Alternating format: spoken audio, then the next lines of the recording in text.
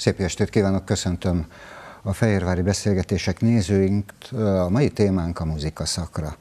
A Szent István ünnepek köré szervezett augusztusi Székesfehérvári Királyi Napok programsorozat kiemelkedő eseménye esztendőről esztendőre a muzika szakra koncert, amely azt gondolom, hogy igazi kuriózum a komoly zenekedvelői számára. Immár ötödik esztendeje a legszebb egyházzenei művek csendülnek fel, a koronázó bazilika romjai fölé emelt hatalmas szabadtéri színpadon, ami egyben különleges zenés, spirituális élményt is nyújt a szakrális helyszínen. Ebben az esztendőben Rossini Petit messze Solonelle, tehát a kis ünnepi mise művét hallhatja a közönség augusztus 12-én, az Alba Régia Szimfonikus Zenekart és az Egyesített Kórusokat pedig Ács János vezényli. Tisztelettel köszöntelek, örülök, hogy megtiszteltél. Köszönöm, köszönöm Lajos. Az volt a motivációm, amikor meginvitáltalak erre a beszélgetésre, hogy egy sajtótájékoztatón vagyunk túl, ahol Brájer Éva alpolgármester asszony elmondta, hogy a, milyen fontos számunkra, hogy a nagyboldogasszony bazilika romjai, amelyek sokáig elfettek, sokáig nem lehetett beszélni róla, most otthont adhatnak egy ilyen eseménynek. Másik oldalról a álma, Major István, az Alberégia Szimfonikus Zenekar álma is megvalósult azzal, hogy a muzika szakra esztendőre esztendőre egy olyan komoly esemény, amelyre nem egy belterjes székesfehérvári, hanem minden magyar embert szívesen látnak. Ahogy ő fogalmazott, ugye azt mondta, hogy a hitre nevelés egyik rendkívül fontos eszköze ez a koncert. A másik oldalról pedig egy olyan fantasztikus értekezést hallhattam kivonatosan és röviden Rossiniről, Lisztről, hogy én azt gondoltam, hogy ezt osztjuk, osszuk meg a nézőinkkel is, hiszen ez egy fantasztikus dolog volt. Ezért aztán én hoztam most egy eh, csodálatos történetet, Rossini. No.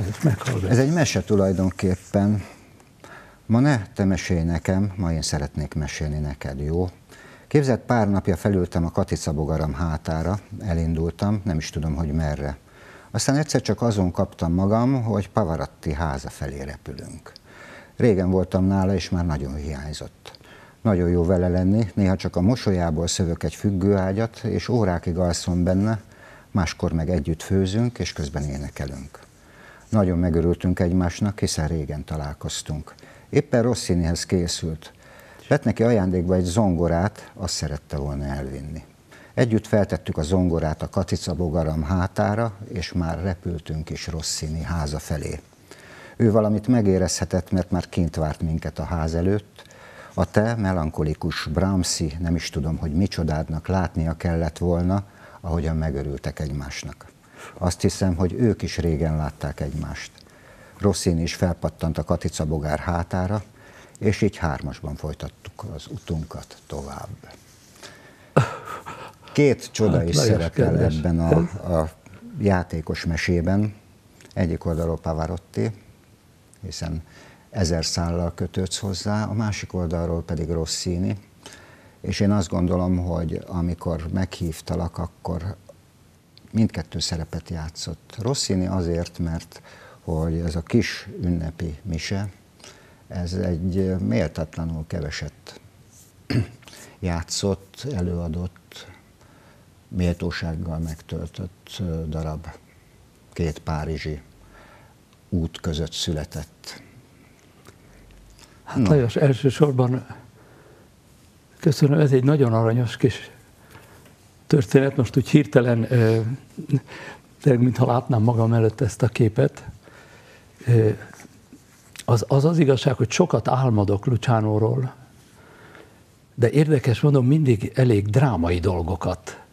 Tehát például legutóbb az volt, hogy egy, egy koncertet kezdtünk, és ő a, a Louisa Millerrel akarta kezdeni, de a zenekarnak nem volt meg az a, az a 16 ütem, ami az ária előtt van, tehát a recitatívo.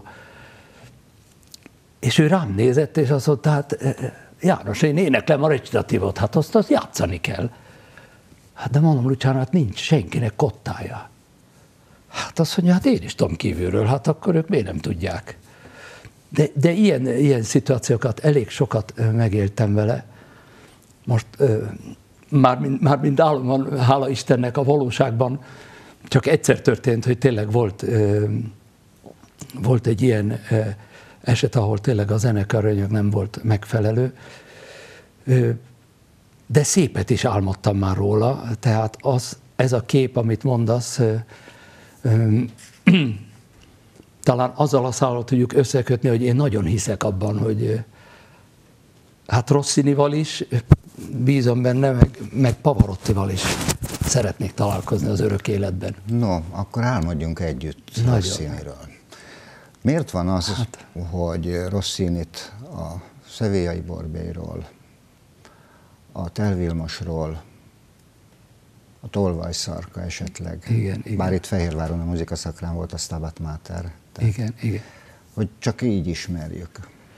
Hát látod, itt most hirtelen eszembe jött, hogy ő ennek a kismisének az, az elő szavában azt írja, hogy hát uram, bocsáss meg, én, én csak egy, egy, egy opera szerző vagyok, sőt, egy vígopera szerző vagyok, engem csak így ismernek, nekem van egy kis tudásom, de szívem és hitem van irányodban, úgyhogy én úgy érzem, hogy ő a két hatalmas egyházzenei remek művével, a Stabat Materrel, és, a, és ezzel a, a, az úgynevezett kismise, ami egy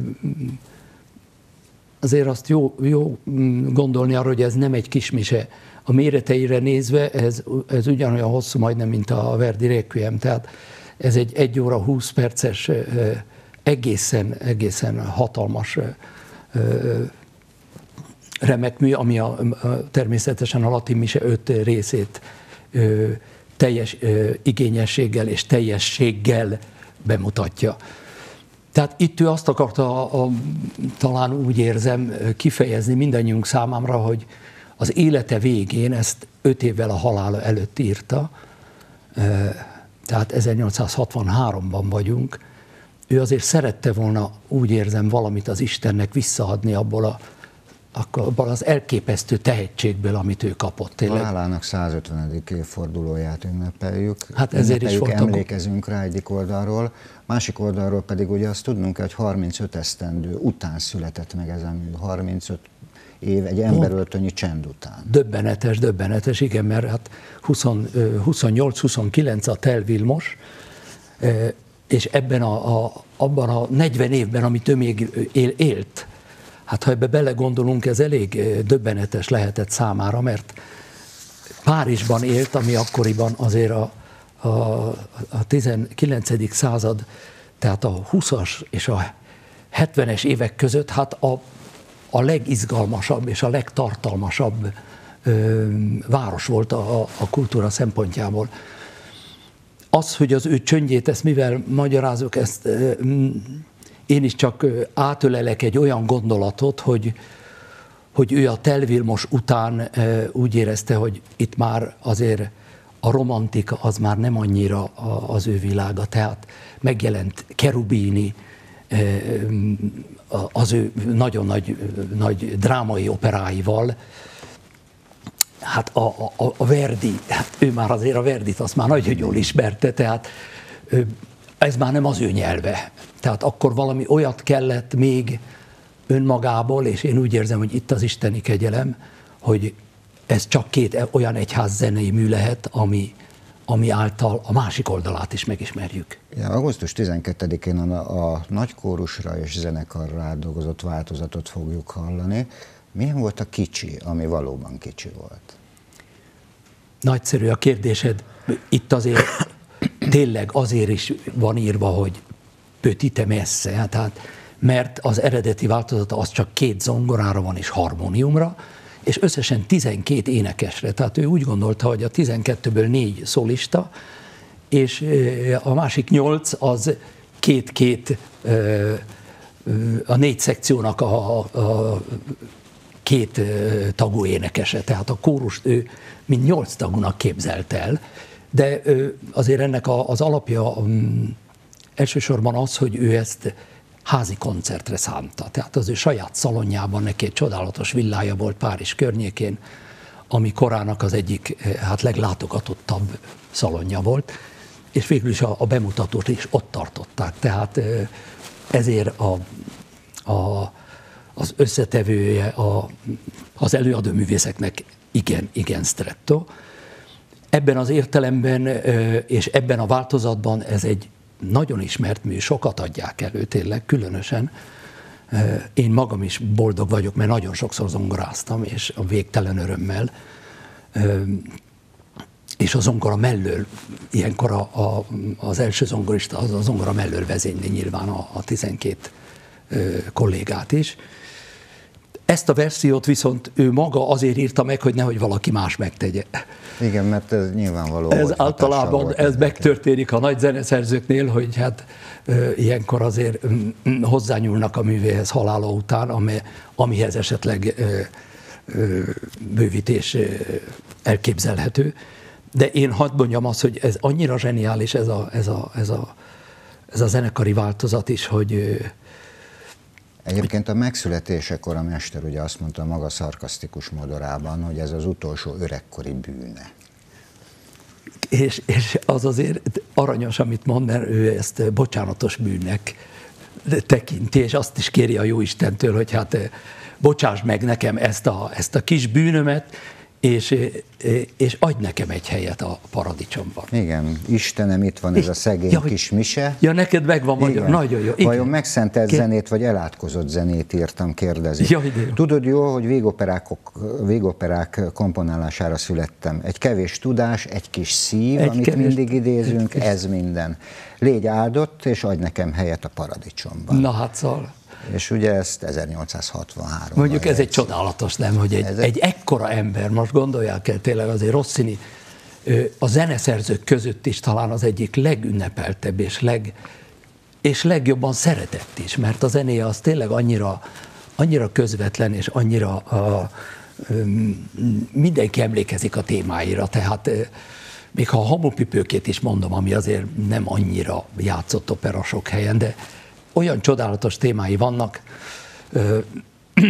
Például ő, amikor próbálkozik azért a muzik drámával, tehát a Guglielmo Tellel, az már az ő számára is valahogy egy kicsit, ha megengeded, azt mondanám, majdnem olyan, mint Verdinek a Falstaff. Tehát az életműből azért nem, ezt, nem, nem gondolná rá az ember, hogy egy Rossini életmű, ez a több mint 40 opera, ez végül is egy,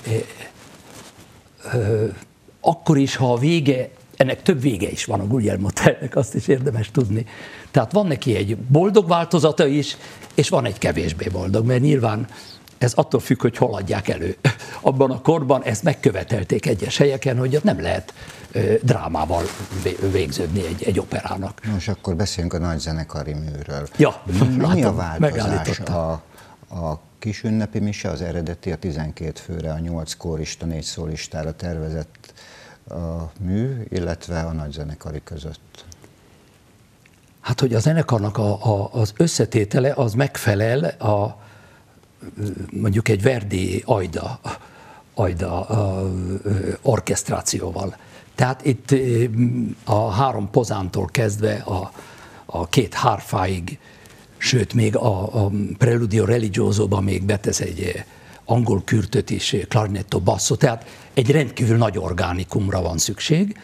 Ettől, ettől ö, kifolyólag nagyon nagy számú kórusra is kell, hogy, hogy, hogy meglegyen a, a, a balansz a, a zenekar és a kórus között. Úgy tudom, hogy itt a, az igazgató, amint említette számomra, itt több mint 130-140 korustát fogunk látni itt a színpadon. Hát ez egy hatalmas feladat, bevallom, mert azért az eredeti írásmód, legyünk őszinték,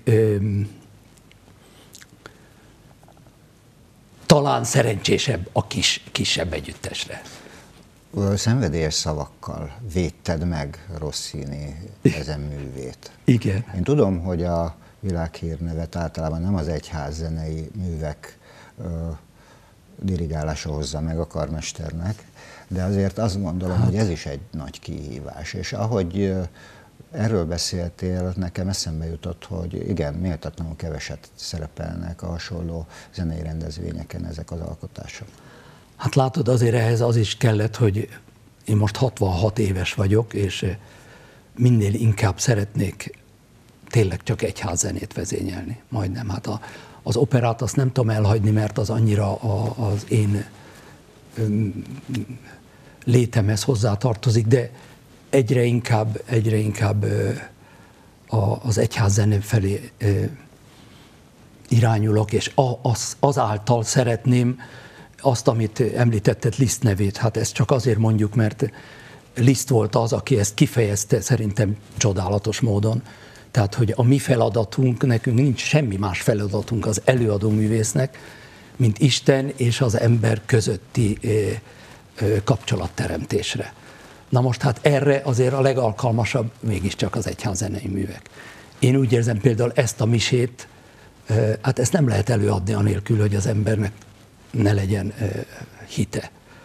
Úgyhogy én ezt úgy, úgy hálából is a Jóisten iránt, meg mindazt, amit kaptam az életben, most talán egy, kis, egy kicsit én is ezáltal vissza tudok adni talán valamit, mert az én felelősségem az, hogy az emberek ebből ne azt érezzék, hogy most egy rosszini művet hallanak, hanem egy hatalmas hitvallást. Tehát a hit és a méltóság kézen fogva jár ebben az esetben. Hát, mindenki. és ráadásul az tényleg az is egy csodálatos gondolat volt, hogy mi egy ilyen szakrális helyen van ez, ez az előadás, tehát itt azért a magyar történelem, ami számunkra a hitet jelenti, hát az mégis a, a Szent Istváni örökség, meg minden.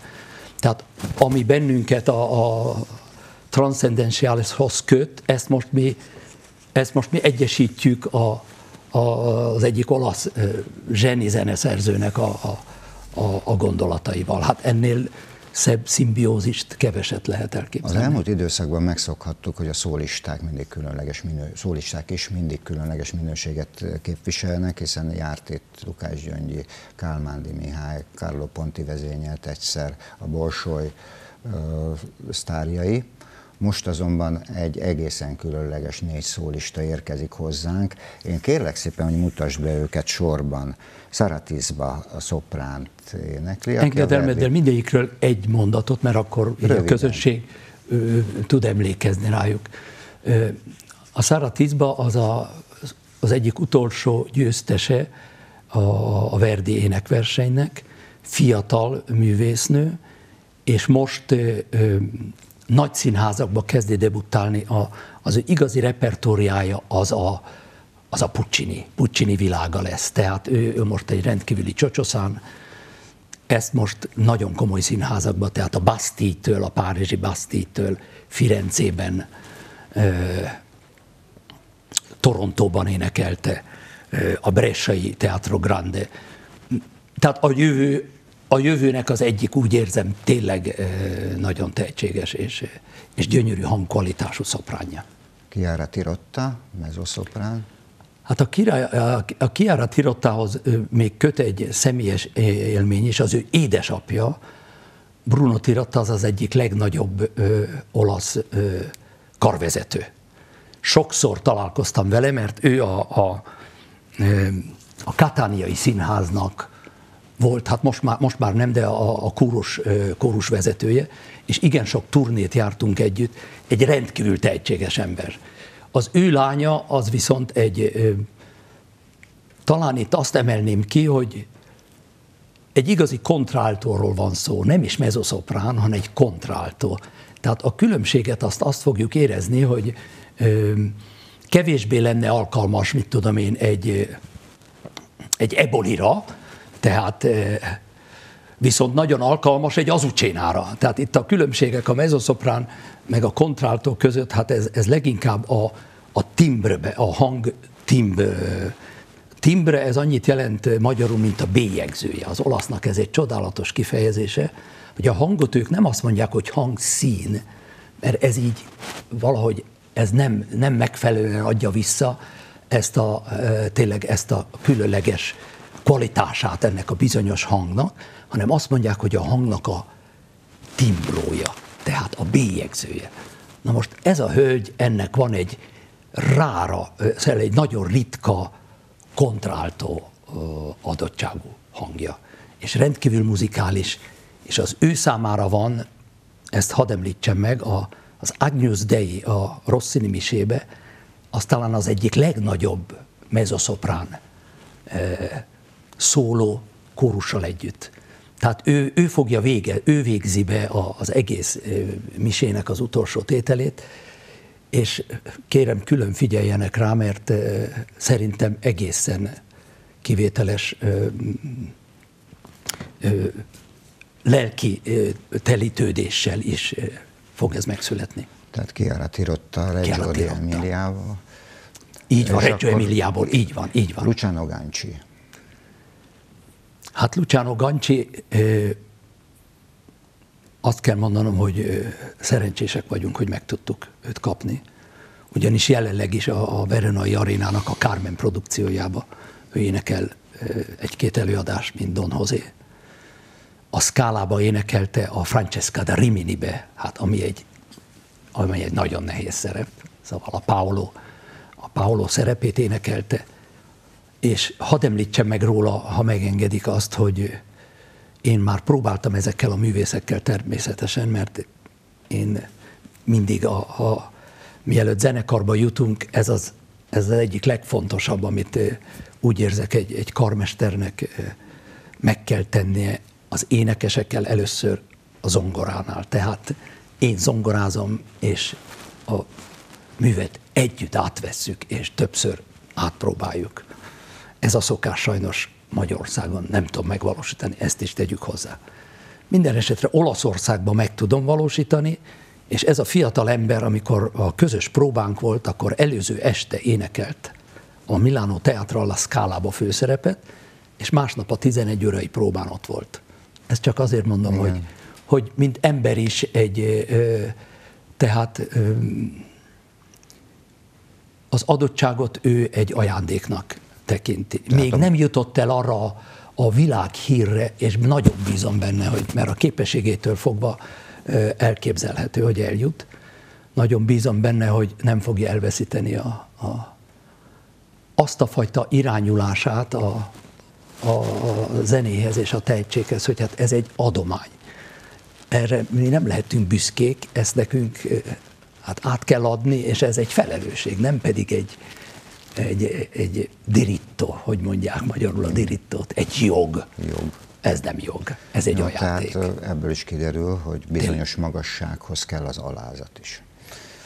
Filippo Polinelli énekli a baritont. A Filippo Polinelli, ő viszont, ez is egy érdekes eset, mert ő nem az a bariton, amit általában megszoktunk. Tehát a baritonoknak is van egy besorolása, van a bariton buffo, van a, a Mozarti baritonok, tudjuk jól, van a Verdi bariton, és van a Wagner bariton, és aztán vannak a bass baritonok, ezek a bass baritonok, Rossini ezt bass baritonra írta. Tehát az, az, az érdekes, mert nagyon sokszor ez tévesen van öm, választva a művész, mert ez nem egy bariton ö, szerep. Ugyanis vannak ö, az alsó regisztere és fontos, tehát hallanunk kell, majd, hát nem úgy, mint egy basszus nyilván, mert nincsenek azok a mélységek, de viszont ami itt megint a hangnak a kvalitásáról van szó. Tehát ez a bizonyos hangtimbro itt is szükséges, mert abban a korban még ezek a nagy különbségek a hangszférái között, ezek még léteztek. Ma már csak annyit mondjunk, hogy szoprán mindent énekel. Ma már énekel, aki énekel éj királynőjét, azt esetleg holnap megtaláljuk, hogy mi énekel. Ez, ez elég drámai, de sajnos a, a mai világ az a tehetségeket annyira ö, kihasználja, bedobja, és utána el is dobja. Tehát baszbaritomból visszatérve kevés van.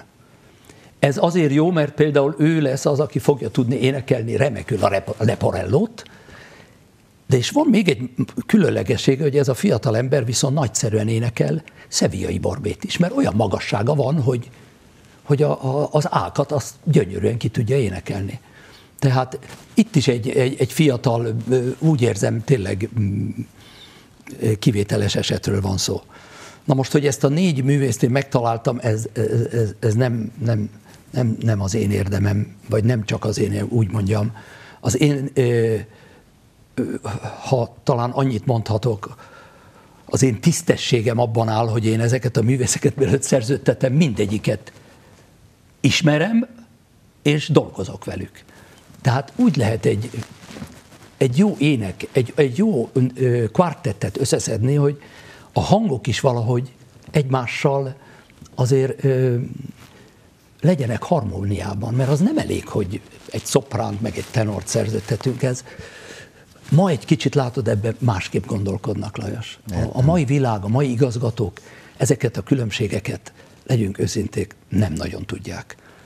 De hát nekem megadatott ez a kegyelem, hogy Olaszországba nőttem fel, ott tanultam, és ott az Abbado mellett meg lehetett tanulni, hogy úgy kell egy bohém életet összeállítani, hogy a, a lírai tenor és a lírai szoprán azok tényleg úgy érezt, hogy nem csak ö, esetleg a szerepben, hanem a hangi adottságokban is szerelmesek, és egymáshoz tartoznak. Jó, hogy elmondtad. Most a próba folyamat elején, ha nem is az elején, de azért a közvetlen közepén sem járunk most. Milyen tapasztalataid vannak mindez idáig? Először is bocsánatot kérek, hogy túl sokat beszélek, mert ha te olyan kérdést teszel föl, ami, ami olyan, olyan nagyszerű kérdéseket teszel fel. Általában ezek az interjúk tulajdonképpen nincs semmi jelentőségük, mert mindig arról kell beszélni, hogy az ember mit csinál, meg mit nem, ez nem érdekes. De te olyan jókat mondasz, hogy a közönség úgy érzem talán, az egy jó dolog, hogy olyan dolgokat tudok elmesélni, amik esetleg érdekesek és újdonság. Köszönöm. Úgyhogy én köszönöm a te kérdéseidet. Visszatérve erre, erre még, bocsáss meg, hadd ne mondjak semmit, mert ma lesz még az első kórus próbám, és holnap lesz az első szólista próbám.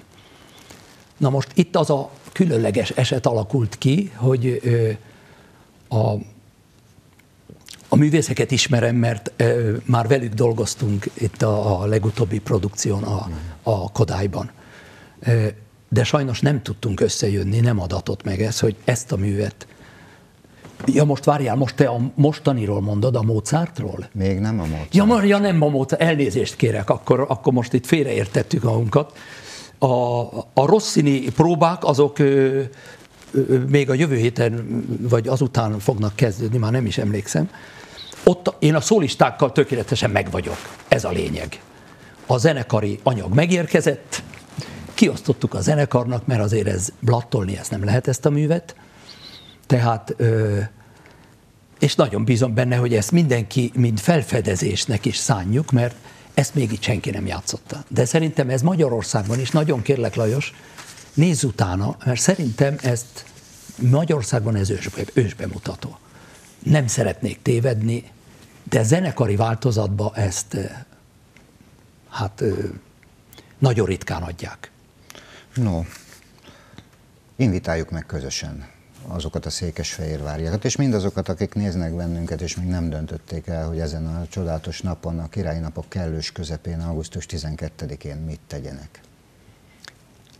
Hát én azért lennék, csak azért lennék boldog, hogy egyrészt megismerjenek egy, egy zseniális zeneszerzőt egy olyan oldalról, amit, ami nem ismert. Mert sem a Stabat Mater, sem ez a mise nem, nem megfelelően a repertóriának a részét képezi.